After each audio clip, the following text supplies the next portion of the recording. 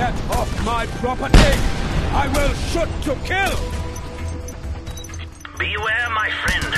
The Colonel has access to some large caliber weaponry.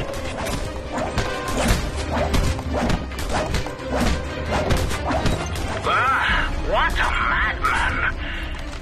Though I fear we have just rid the military of a problem, and they are probably